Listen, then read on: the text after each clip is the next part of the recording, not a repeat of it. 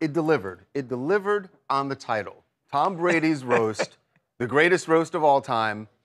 It might have been the greatest roast of all time. I, I, Mike, I was texting you while Yeah. it was going on. I was like, why is this so entertaining? And I actually, I have an answer as to why. What is the It answer? was so entertaining. It's because they suspended the rules of society for one night. You're not kidding. I mean, we've talked about comedy being dead, right? Right. Not People last complain night. about comedy being dead, and you can't say anything. And it's probably why we haven't seen one of these celebrity roasts in a long time. Yeah. But they pulled out all the stops for Tom Brady last night. I think that's why and was so shocked. Hit him with everything you could, every Gisele joke, every joke about uh, about her boy, her jujitsu Right, boyfriend, right. Every joke about Bri- Bridget Moynahan Oh. got got a shot as well. Aaron Um, Hernandez. I mean, these are things I thought Charles would be way out of bounds. Yeah, um, but everything went on this, and there were some uh, there was some collateral damage as well, Ooh, and that would be Kim Kardashian, who uh, showed up was not on not up on stage, but she was sitting in in the crowd,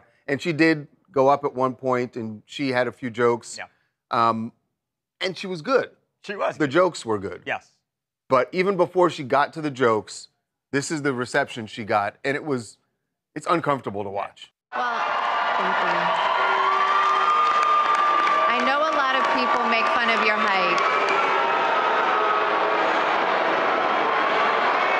All right, all right.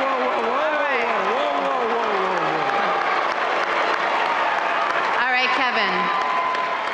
I know a lot of people make fun of your height, but you could actually hear Kevin Hart and Jeff Ross jump in Right. saying, whoa, whoa, whoa, because it felt like they were losing, like the crowd Right. was completely Nobody turning. else got that reception, Charles, when they walked up to the mic. And it was funny because she was about to go into a joke making fun of Kevin Of Hart. Kevin. Yet and he Kevin at- was defending her Right. because, and Tom started clapping because they're trying to turn things around.